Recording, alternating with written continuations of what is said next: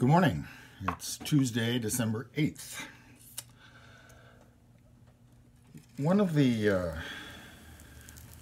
big stumbling blocks for anybody getting into art, ceramics, is this cultural idea of talent. And I don't want to argue that talent doesn't exist. Um, but talent, in many cases, is just sort of a shortcut. It means you, you picked up something quickly that took somebody else longer.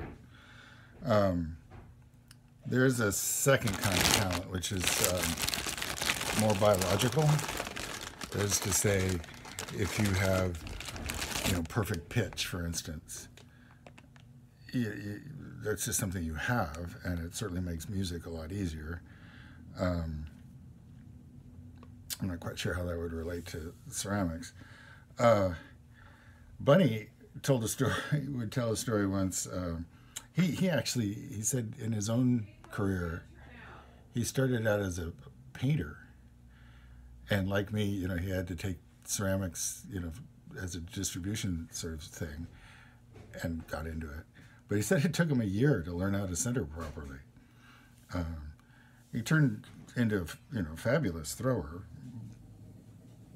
but it, it didn't come to him immediately, which he found very frustrating later in life when his brother-in-law came to visit.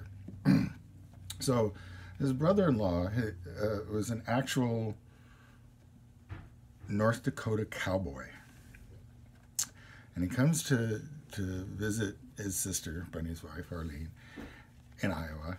And at some point, the conversation gets around to, you know, pots. I mean, the studio is just right down the hall.